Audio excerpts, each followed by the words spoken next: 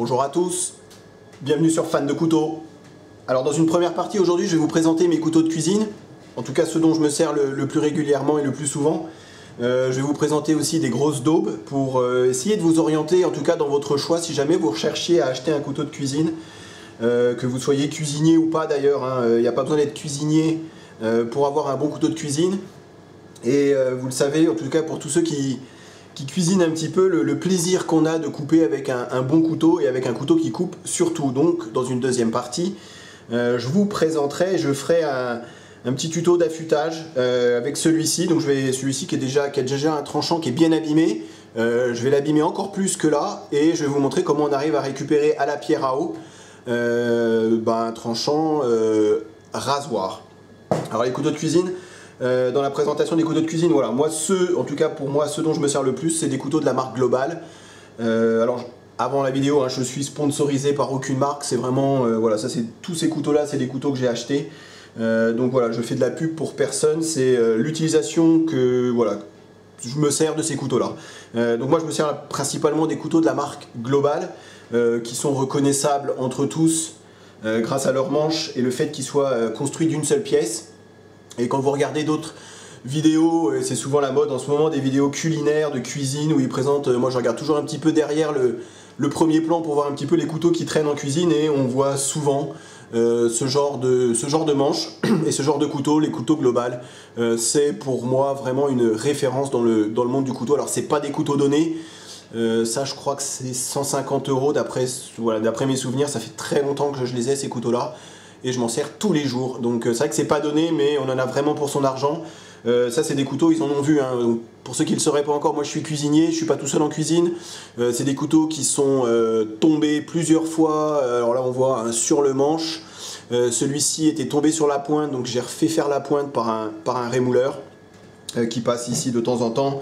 comme vous pouvez voir, hein, les couteaux, ils, en ont, ils ont pris certains chocs, donc ils sont tombés donc, sur le, sur le talon. Euh, ici, c'est pour ça que celui-là, j'ai envie de le refaire. On voit ici, à ce niveau-là, que le, tranchant est complètement déformé. Euh, si vous tombez sur un os de poulet, euh, je, parfois j'ai pas vraiment le temps et je dois couper, je sais pas, un pic à brochette en bois par exemple, et bah voilà, tox, je coupe avec et forcément c'est beaucoup moins résistant qu'un que le tranchant sur un couteau de survie par exemple et tout de suite vous allez, apprendre vous allez avoir des déformations dans le tranchant. peu importe, c'est pareil sur tous ces couteaux là. Je vais essayer d'accélérer. Voilà, moi franchement pour moi les couteaux global c'est vraiment une, excellente marque et pour moi la marque de référence euh, pour ceux qui veulent euh, vraiment passer sur de la, qualité. Euh, après on peut avoir ce genre de, j'ai envie de dire ce genre de daube. je vais pas citer de marque, je vais enlever cela d'ailleurs. Je vais essayer de faire ça proprement. C'est pas facile parce que j'ai tellement de choses à dire et la vidéo elle pourra durer, elle pourrait durer deux heures. Donc euh, voilà, ce genre de daube, j'ai envie de dire, euh, je vais cacher la marque pour pas que vous la... Voilà. Donc sans citer de marque, mais ça franchement c'est des couteaux qu'on trouve euh, en grande surface ou dans des pseudo grandes surfaces spécialisées. c'est soi-disant une lame en, j'en sais rien, titanium. alors ouais c'est joli, c'est gadget. Hein. Vraiment franchement faut éviter, alors ça doit pas coûter bien cher. J'en ai même aucune idée du prix, mais ça c'est vraiment, euh, vraiment de la grosse daube. Euh, ça pareil, hein, on est sur une lame, alors là il n'y a pas de marque. Alors une lame, je trouvais ça joli, c'est noir, c'est, euh, mais franchement c'est bah, de la daube, ça ça coupe deux secondes, après ça coupe plus, c'est même pas très agréable de travailler avec. franchement si vous voulez commencer, enfin voilà, un couteau de cuisine, il faut quand même y mettre un certain prix si on veut quand même avoir autre chose. Je dis pas qu'il coupe pas, je dis juste que voilà, c'est en tant que professionnel, en tout cas, c'est vraiment pas les couteaux dont, on peut se servir, donc je passe là-dessus rapidement.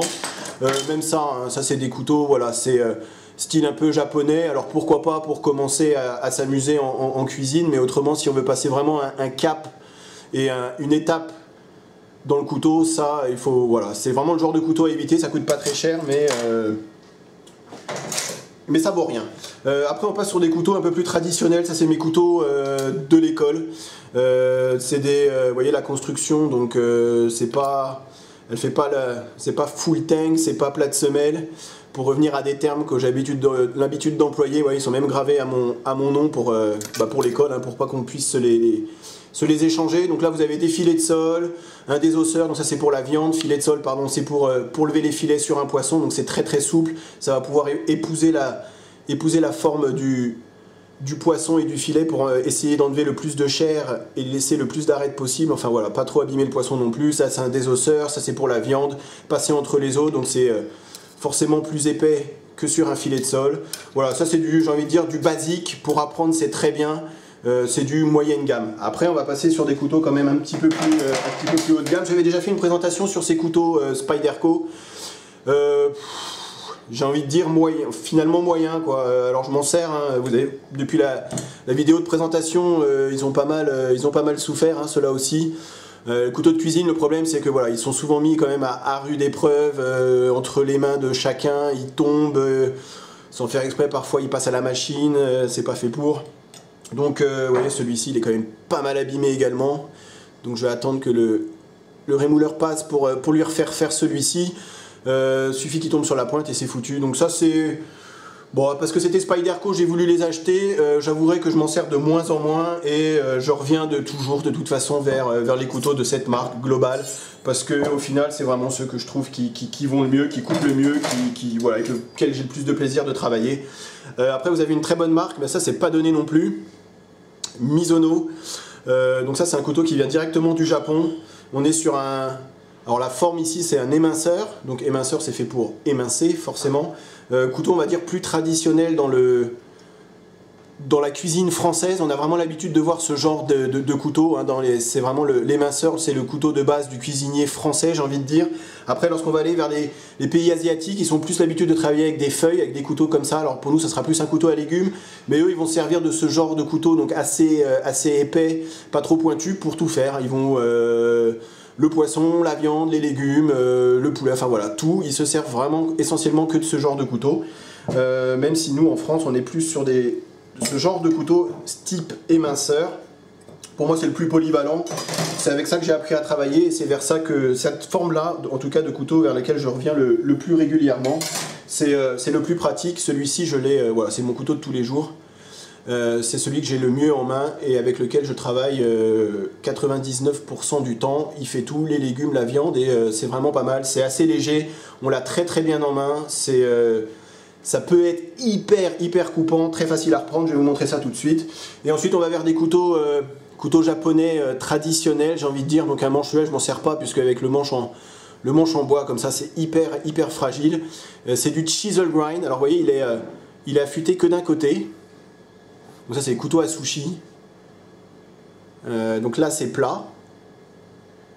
Et en fait il est affûté que de ce côté-ci. Celui-ci il est rasoir de chez rasoir, pointu, c'est très très beau. Ça c'est fait pour, euh, pour faire les sashimi, donc pour, euh, pour couper le saumon ou le thon très très très finement. Voilà, c'est un très beau couteau japonais, mais dont je me sers pas puisque bah, je fais pas les sushis. Voilà, et après vous allez être sur le, le couteau un peu, voilà, le, la feuille comme on dit, vous voyez l'épaisseur du couteau, euh, ça c'est fait pour, euh, couper les carcasses, euh, pour couper les os.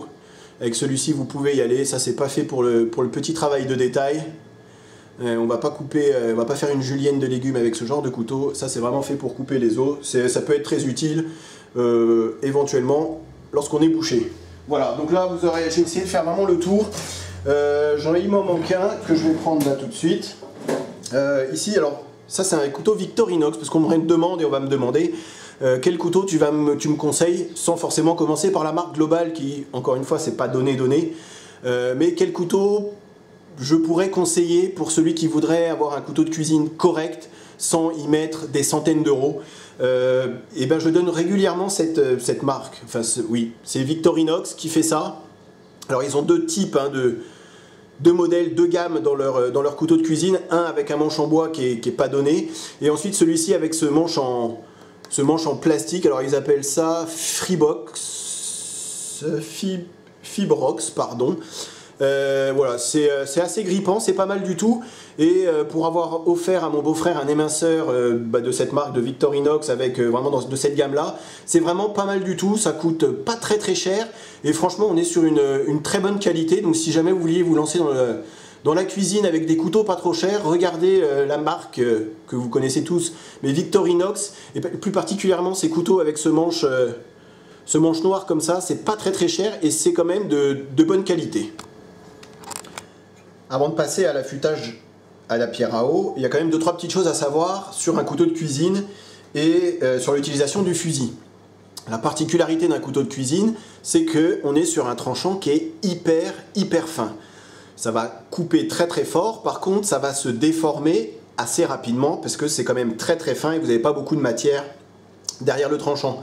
Euh, alors on me demande souvent, est-ce qu'avec un fusil on peut affûter un couteau? J'ai envie de dire non, on n'affûte pas un couteau avec un fusil, on entretient le tranchant avec un fusil. On voit régulièrement quand on va chez le boucher, par exemple, c'est là qu'on les voit faire, euh, les, bouchers qui passent leur couteau sur le fusil. Ça sert simplement à retrouver du tranchant lorsque le couteau il coupe déjà. Je vais vous montrer ce que j'entends par un couteau qui coupe déjà. Alors lui, il est quand même pas mal abîmé, mais je vais vous montrer ce que le fusil peut faire sur un tranchant pas mal abîmé. Donc là, c'est la feuille de bottin. Et je vais vous montrer. Alors, ça coupe en... Voilà, ça coupe encore. C'est pas parfait, mais ça coupe encore. On sent que le tranchant, est quand même abîmé. Et ça déchire un peu le papier par certains endroits. Ce qu'on va pouvoir faire avec un fusil, alors que ce soit un fusil comme ici en acier ou alors un fusil céramique comme ici, il existe aussi des fusils, alors ça c'est un fusil comme vous voyez, il est rond, il, existe aussi des, fusils qui sont un peu plus aplatis, avec un revêtement diamant, alors ça c'est des fusils qui vont coûter très très cher. J'ai envie de dire que peu importe le fusil que vous allez utiliser, c'est vraiment fait pour entretenir un tranchant et non pour affûter un couteau. Alors je vais vous montrer ce que j'arrive à faire et ce qu'on arrive à obtenir si on utilise le fusil sur ce couteau. Alors le fusil, pareil, il faut, lorsqu'on va affûter sur le fusil, on va essayer de garder un angle qui va pas être trop important ni trop plat. Comme j'ai dit, la particularité d'un couteau de cuisine, c'est que le tranchant il est assez fin, donc on va avoir un angle d'affûtage qui va être bien plus fin que sur un gros couteau de survie euh, pour vraiment prendre les extrêmes. Ici, on va être sur un, angle d'affûtage entre 10 euh, et 15 degrés euh, vraiment 15 degrés maximum si on veut vraiment avoir un, un tranchant redoutable. Alors je vais vous montrer, on passe alors Pareil que sur une pierre, on va passer dans ce sens-là et non dans ce sens-là. Là, on va allonger le fil. Là, on va refaire le fil. Donc, on passe d'un côté et de l'autre. Tout se passe au niveau du poignet. À chaque fois que vous passez d'un côté, hop, et de l'autre côté, on tourne le poignet. Et on retourne le poignet. Donc après, avec l'habitude, on va de plus en plus vite. L'idée, c'est quand même de passer sur la totalité du tranchant. Voilà, et là je vais vous montrer le résultat. Trois petits coups sur le fusil, comme on a l'habitude encore une fois de voir chez le boucher ou en cuisine. Et là, vous voyez, on a quand même retrouvé du tranchant. Ça n'a pas enlevé les accros qu'il y a dans la lame. C'est quand même bien mieux que tout à l'heure. Hein, ça coupe. Voilà. C'est pas parfait, mais c'est mieux. Comme j'ai dit, ça entretient, ça va enlever les petites déformations éventuelles du tranchant. Par contre, si vous avez des grosses déformations, vous voyez là, ça accroche toujours. Voilà, le fusil, c'est très bien au quotidien. Par contre, une fois par mois, à peu près, en moyenne, en tout cas, je passe mes couteaux à la pierre à eau pour justement enlever toutes ces petites euh, encoches. Je m'installe et je vous montre ça pour avoir un tranchant rasoir sur mes couteaux de cuisine et sur tous les autres couteaux que j'utilise et que vous voyez dans mes vidéos, j'utilise euh, toujours de la pierre à eau. Alors pierre à eau, comme son nom l'indique, c'est une pierre qui est immergée dans de l'eau pour qu'elle soit saturée en eau et ça va aider à, l'affûtage. Euh, j'utilise toujours trois grains et c'est trois mêmes pierres euh, que j'ai depuis des années et des années. je commence par un grain 800, ce qui va permettre de d'enlever les encoches éventuelles, ça va enlever pas mal de matière, mais justement ça va uniformiser le tranchant. Ensuite, je passe sur un grain 1200 et je termine par un grain 6000. Donc ici, vous voyez, c'est une pierre avec euh, double face. Donc ici, c'est un grain 1000. Ici, c'est un grain 6000. J'utilise que pour le grain 6000. Euh, le problème des pierres, c'est que plus on va dans des grains élevés, donc 5, 6, 6000, 7000, 8000, 10000, plus le grain est fin et plus le prix augmente. Euh, moi, je termine par du 6000. Après, vous pouvez terminer par du 10 000 si vous êtes encore euh, plus perfectionniste. Je trouve qu'avec 6 000, on arrive à avoir un, résultat à 5-6 000. Hein. on, on arrive à avoir un résultat euh, poly-miroir euh, qui pour moi est largement suffisant. Un petit passage au cuir à la fin pour, pour enlever le, morphile et, tout se passe bien. on me demande régulièrement aussi qu'est-ce que tu me conseilles comme pierre? Franchement, j'en ai pas essayé beaucoup des pierres. Euh, j'avais fait une revue, une vidéo sur les différents systèmes d'affûtage où je donnais 2-3 noms de, pierres. Euh, je sais que celle-ci, voilà, pour moi ça me convient très très bien. Après, vous pouvez commencer, je sais qu'il y en a qui commencent par du 600, donc vous allez avoir encore, ça va enlever un peu plus de matière. Le résultat, vous allez avoir, obtenir le même résultat un petit peu plus rapidement qu'avec du 800. pour moi, 800, sachant que mes couteaux, je les laisse jamais complètement euh, pourri, avec un tranchant complètement pourri, je trouve que le 800 est largement suffisant. Alors je vais vous montrer en live qu'il ne faut pas deux heures pour retrouver un tranchant correct, surtout sur, euh, sur un couteau de cuisine. Les couteaux de cuisine, l'acier, la particularité des aciers sur les couteaux de cuisine, euh, forcément on est sur un acier inoxydable, on ne verrait pas un couteau de cuisine qui rouille, mais on est sur des aciers qui sont assez mous, assez souples, comme j'ai dit, ceux-là, ils sont quand même tombés régulièrement. Et si on était sur des, aciers très durs, ils seraient très cassants. Et euh, au moindre choc, vous auriez, un couteau qui, serait cassé en deux. Donc on est quand même sur des aciers, euh, voyez, qui, se déforment assez, assez facilement. C'est des aciers assez mous, j'ai envie de dire, donc qui se reprennent hyper facilement. C'est vraiment la, la, particularité. Alors je vais faire quelque chose que j'aime pas faire, mais je vais être obligé de le faire pour vous montrer que c'est quand même pas sorcier et qu'il faut pas deux heures pour affûter un couteau, plus particulièrement un couteau de cuisine. Donc là, c'est de la pierre et je vais passer le tranchant dessus. Alors j'ai horreur de faire ça, mais je suis obligé pour vous montrer. Voilà, alors là, forcément, ça abîme le tranchant comme on peut l'imaginer. Voilà, ça sert à rien de faire plus. Je vais reprendre un papier, un papier d'annuaire. Vraiment, je le fais en live pour pas qu'il y ait de montage et vous montrer que, en, alors ça peut être long pour certains, vous passez si ça vous intéresse pas, mais euh, pour, vous euh, voyez là, là ça accroche rien du tout. Voilà, là le couteau, même au fusil, on, va, on arrivera à retrouver quelque chose au fusil, mais ça sera pas génial. Voilà, le couteau il accroche même pas le papier. Le tranchant est foutu. À ce niveau-là, quand on a un couteau comme ça, euh, là, il faut vraiment le passer à la pierre. Donc je commence par le 800 et vous allez voir le 800. Alors, ça va assez vite, hein, sur, euh, plus le grain est petit, plus vous êtes sur un gros grain et plus ça va aller vite à enlever de la matière. Ça ne sert à rien de passer euh, deux heures sur un, sur un grain 800. Là, c'est vraiment pour retrouver du tranchant et enlever un peu toutes les, bah, toutes les déformations qu'il pourrait y avoir. Alors, particularité encore une fois sur un couteau de cuisine, le tranchant est très très fin, donc l'angle d'affûtage il va être fin. Ça sert à rien de mettre son couteau comme ça. Il faut vraiment 10 degrés, 10-15 degrés maximum pour, euh, pour obtenir un, bon tranchant. Donc bien mouiller la pierre et ensuite on y va. Alors je suis pas dans la meilleure position mais je vais quand même essayer. Donc je mets mon pouce sur le dessus de la lame et c'est ce qui va me donner avec mon, poignet ici l'angle que je vais essayer de maintenir. Ici, je mets mes doigts sur la lame pour avoir une pression un peu uniforme tout au long de l'affûtage. Et on y va.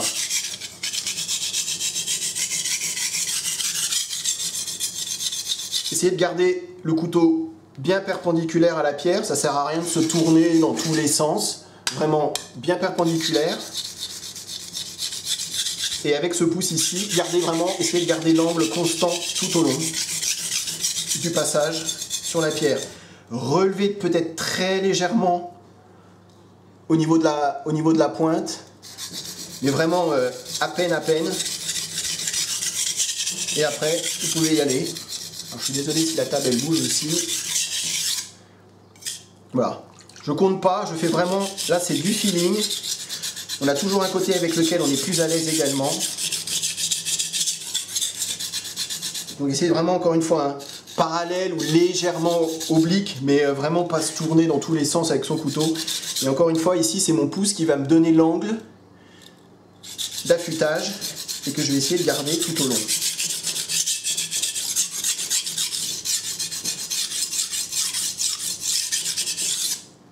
Voilà, alors à la 800, vous voyez, hein, ça enlève quand même pas mal de matière. Là, on voit. Hein. Tout ça, c'est de l'acier qui part. Donc ça, ça va être vraiment pour euh, enlever la déformation que j'ai montrée dans la présentation également.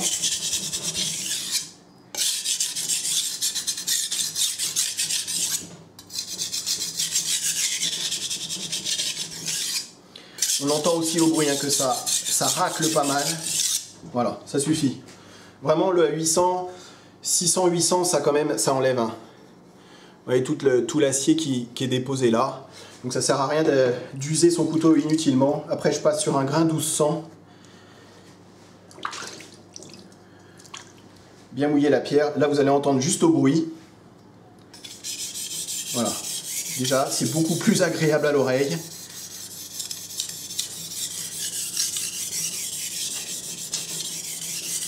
Vraiment garder le même angle et très très fin. Là je suis à un peu plus de 10%, 15% maximum. c'est sur toute la longueur du couteau. Pareil de l'autre côté, avec le pouce ici qui va me donner l'angle. J'exerce un peu de pression quand même hein, sur la lame. Pas exagérément, mais un petit peu quand même.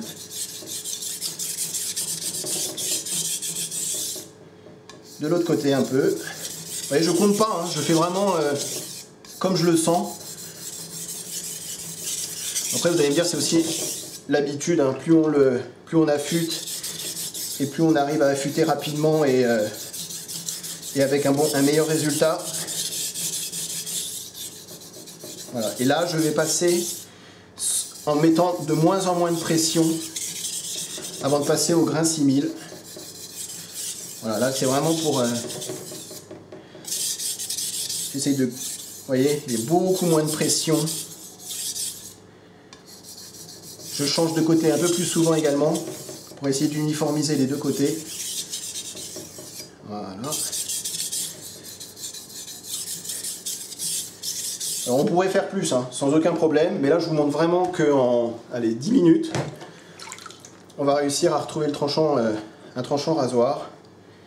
Donc là c'est la pierre 6000 pour terminer. Je vais rincer un peu la lame. là, ça va polir. Là, on n'entend plus rien. Là, vous allez polir le tranchant.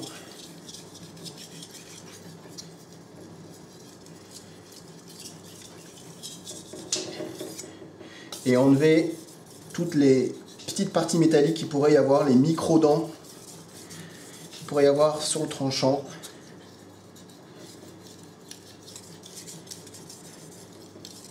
Mais voyez, hein, ça enlève encore euh, pas mal de, matière. Voilà. Après, c'est sur un, sur un couteau de survie, par exemple, ça va être exactement le même principe, avec un angle forcément un peu plus, un peu plus grand. Et vous y allez euh, y passer un peu plus de temps également, puisque sur un acier, euh, il y aura bientôt une vidéo sur les différents aciers utilisés en, coutellerie, mais c'est vrai que sur un acier plus dur, forcément, vous allez devoir euh, bah, y passer un peu plus de temps.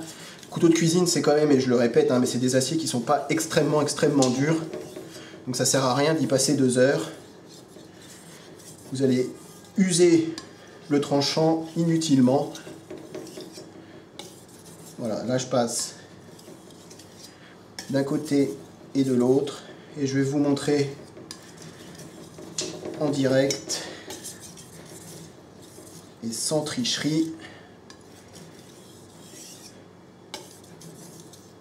déjà l'état du tranchant.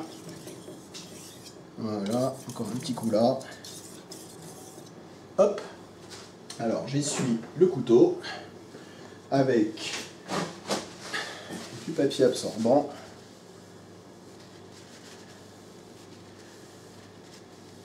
Voilà, je vais vous montrer le tranchant.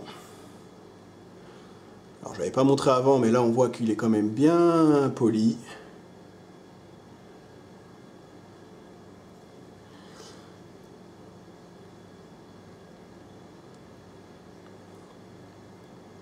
Et sur le papier de l'annuaire, l'idéal quand même, ça serait de, parce que j'aime bien la, finition, c'est de le passer un petit coup au cuir, mais parfois c'est même pas la peine. Alors là c'est parce qu'il est encore un peu le papier est un peu humide et le j'essuie. Il faut bien essuyer hein, le, tranchant. Hop, je reprends du papier. Hop.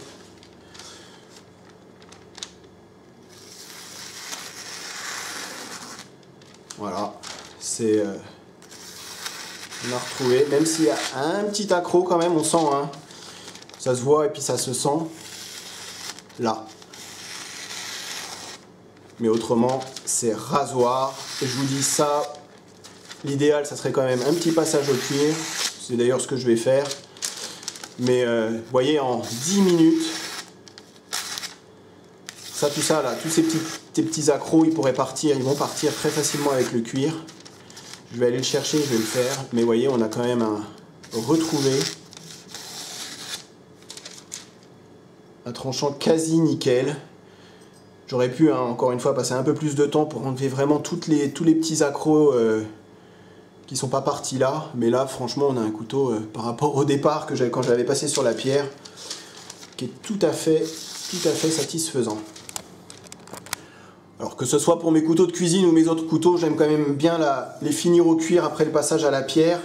Euh, histoire d'enlever euh, toutes les petites parties métalliques euh, qui pourraient avoir, le morphile éventuel, et vraiment d'avoir un, tranchant, un tranchant poli miroir et nickel et rasoir. Et là, je vais vous montrer ce que ça peut donner après le passage au cuir. Plus aucune accroche. Ça déchire absolument pas le papier. C'est rasoir, vous pouvez dans tous les sens faire des coupes, euh, des coupes en S, enfin comme vous voulez. Voilà, comme quoi, hein, c'est pas compliqué, surtout avec un couteau de cuisine, encore une fois, on n'est pas sur des aciers très très durs. Surtout avoir un angle assez fin quand même, puisque un couteau de cuisine, c'est fait pour couper.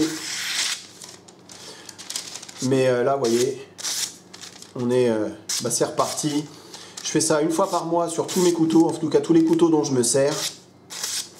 Un entretien au fusil régulièrement, tous les jours, mais dès que ça commence à avoir à, ne plus couper, le passage à, la pierre est indispensable quand on a ce genre de résultat. C'est plutôt euh, assez convaincant et plutôt pas mal, comme quoi la pierre à eau, hein, c'est pas gadget. Franchement, c'est euh, un très bon investissement euh, pour affûter ses couteaux c'est un outil indispensable. Voilà, j'espère que la vidéo vous a plu, que ça vous a été utile et je vous dis à très bientôt sur ma chaîne. Salut